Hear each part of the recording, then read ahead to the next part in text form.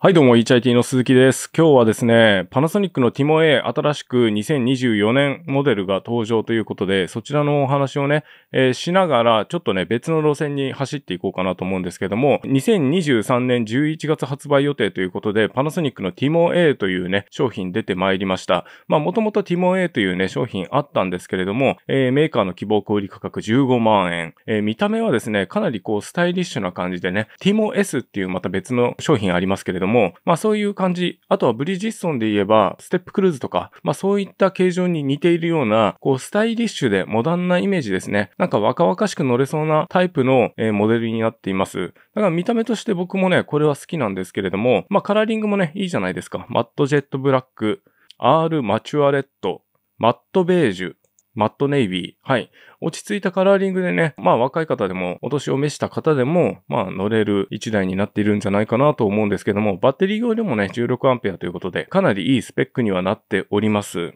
で、えーこれに関しての一つだけね、今回お話しするのが、空気入れタイミングお知らせ機能というものが搭載になりましたということで、パナソニックの2024年モデルの中では、この TIMO-A だけに搭載ということになっています。でですね、このパナソニックの TIMO-A に搭載される空気入れタイミングお知らせ機能とは何ぞやっていうことなんですけども、これ写真見てわかる通りですね、画面のところに空気チェックっていう表示出てるじゃないですか。これ、えっ、と、一応説明を読みます。タイヤの変形量からモーターが推定し、空気の入れ時を空気チェックの表示でお知らせ。空気入れタイミングお知らせ機能は、モーター回転数やスピードセンサーからの情報をもとに、タイヤの空気圧を推定し、空気を入れるタイミングの目安を液晶スイッチに表示する機能です。使用条件によっては正しく推定できない場合がありますということで、まあ、あの、自転車の走りを感知して、それに従って空気ないんじゃないかっていうことを推測して表示するっていうことですね。物理的にっていうよりは、まあ、データ的にっていうことなんですけれども、まあ、それはそれでいいんじゃないですか。で、空気チェックっていうのは、あの、どうしてもね、うん、まあ、今回もいいかな。もう出発しないといけないしっていうことで、やらない方々、あとはご自宅に空気入れがない方、えーそういう方々ね、空気入れをあまりしない人もいるるかもしれないんですけども、こう書かれるとやんなきゃなっていう人もね、あの出てくると思うので、これはいいんじゃないでしょうかということですね。で、えっと、これに関してはここまでです。早いね。終わっちゃった。こういうわけで、これが搭載されます。で、ブリヂストンとかだと、また別にね、まあずーっと昔からありますけれども、例えばアルベルト E とかそういうのに搭載されている空気見張るくんっていうものがあります。あれはね、あの、物理的にって言ったらいいのかな。タイヤの空気圧が抜けてくると、空気なくなったのを実際にその、なくなってきましたよっていうので、スポーって、こう押し上げられて赤い線が出てくるような。目に見える形で、本当に空気がないんだよっていうのをパッと見でわかるような形になっているものがありますね。で、えー、まあこれからね、あの自転車に乗る方々、それかまあ今乗っている方々でも空気入れをあんまり活用していない方々に、まあお話しするとすればですね、僕はね、空気入れは普段からやってた方がいいと思いますよ。これみんな言ってますよね。空気入れはやっておいてください。空気入れてないとこんな不都合がありますよっていうことで、まあみんな言ってるんですけれど、僕もむしろ頻繁にやってます。1ヶ月に1回とかそういう目安を決めてるわけじゃなくて、乗るときに毎回ではないですけれども、チェックをしてます。で、チェックするときってどうやってるかっていうと、まあ、タイヤを押します。はい。前後ともにですね、タイヤをこうやって親指でギュッと押してみて、ああ、全然空気入ってないじゃんっていうことだとか、ちょっと抜けてるなっていうこと。もしくはですね、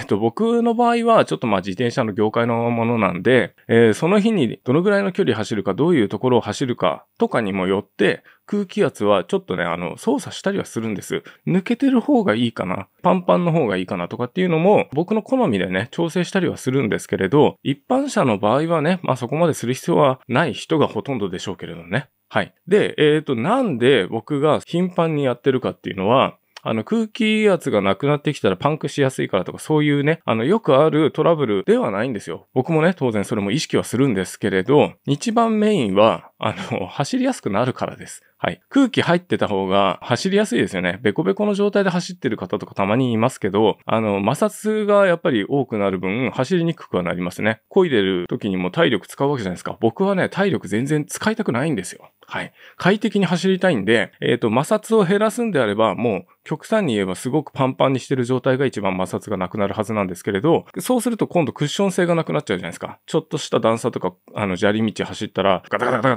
タってなっちゃうんで、そこまでパンパンにすることは僕もありませんけれども、ある程度基準に沿ってね、適正にしっかり空気を入れておくことで、走りやすくなる、楽に焦げるようになる。まあそういう意味で、快適だから空気を入れてます、僕は。僕はバイクも乗ってるし、車も乗ってるんですけれど、まあバイクとかも適正に空気を入れないと走りにくいですよね。場合によってはさっき言った僕自転車の空気圧を調整しますっていう話って、よくあの、バイクとかでもあり得る話なんです。特にオフロードバイクなんかは、その走る環境に合わせて空気圧を極端に抜いたり、そこそこ入れたりっていう調整をして、いかに快適に走るかっていうところを、まあやったりはするんですけれど、まあその走る環境だとか、その自分の快適性ですよね。自分の好みのその乗り心地をさせるために空気圧を調整しています。なので、今回ね、パナソニックの TIMO-A で空気のチェックのピカッと出るようになりました。はい。それをね、あの見て空気を入れるっていう癖をつけてもらうこともいいと思います。はい。